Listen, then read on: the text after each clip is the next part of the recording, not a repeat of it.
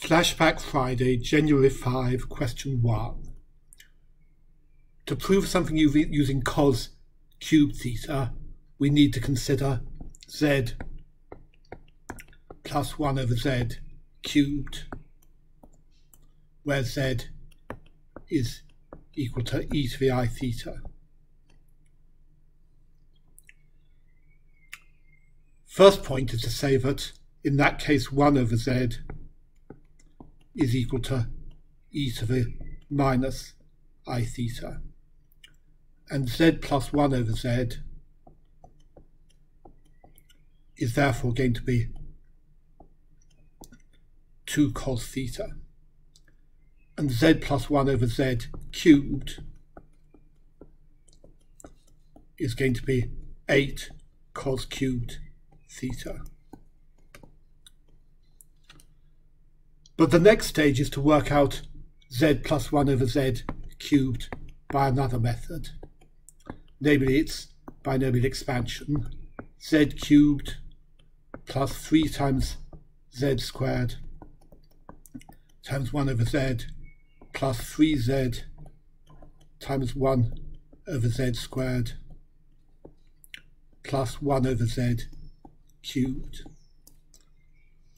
So that's going to be z cubed plus 1 over z cubed plus 3z plus 1 over z.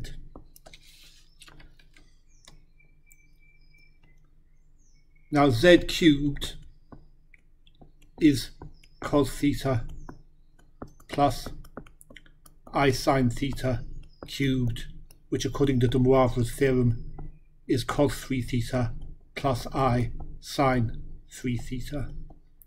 And similarly, 1 over z cubed is cos 3 theta minus i sine 3 theta. So z cubed plus 1 over z cubed is going to be 2 cos 3 theta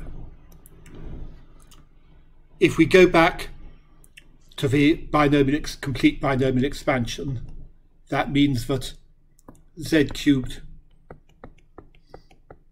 plus 1 over z cubed plus 3 z plus 1 over z is equal to 2 cos 3 theta plus 3 cos theta. And if we compare that with the other way of working out z cubed is also equal to 8 cos cubed theta. The result we're supposed to prove is that cos cubed theta is equal to a quarter cos 3 theta plus 3 eighths cos theta. And we can sorry I've made a mistake this should be z plus 1 over z is 6 cos theta, which means this is 3 quarters, and that's the result we're supposed to prove.